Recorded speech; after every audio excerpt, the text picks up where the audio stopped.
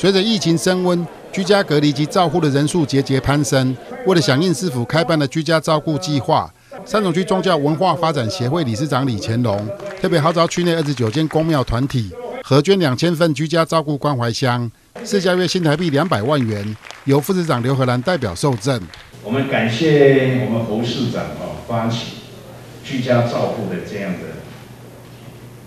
这个关怀箱啊。所以我就想说，跟大家报告一下，我们宗教界是取之于社会，用之于社会，最重要是净化人心，让社会能够安定下来。